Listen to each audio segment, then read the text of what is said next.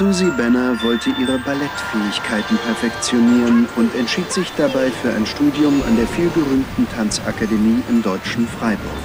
Und so flog sie eines Tages um 9 Uhr morgens von New York nach Deutschland, um dort um 22.40 Uhr auf dem Flughafen zu landen.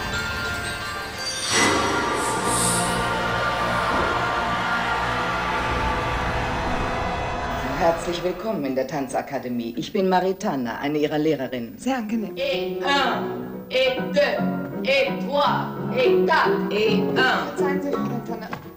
Ich, ich fühle mich nicht wohl. Darf ich einen Moment aussetzen? Aber, aber. Reißen Sie sich zusammen, so schwer ist es doch nicht. Zugleich, bitte.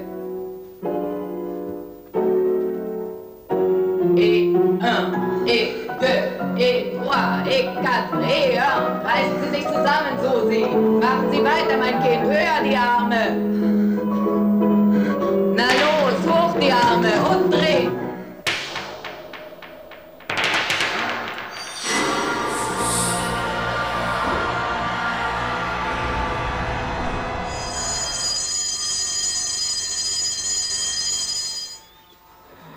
Das ist die Direktorin.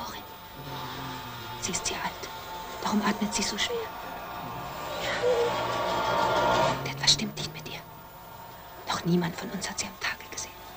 Sie kommt immer nur in der Nacht.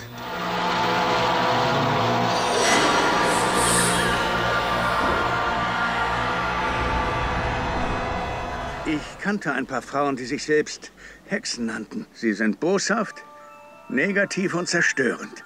Ihr Wissen um die Kunst des Okkulten gibt ihnen gewaltige Kräfte. Sie können den Verlauf der Geschehnisse ändern, das ganze Leben einer Person. Sie können Leiden, Krankheiten verursachen, sogar den Tod von denjenigen, die sie aus welchen Gründen auch immer beleidigt haben. Heutzutage ist Unglauben eine normale Reaktion auf solche Dinge.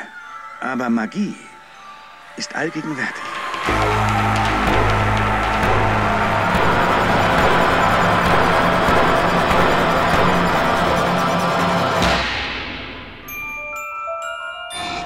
Habe dich schon lange erwartet. Ich wusste, dass du kommst.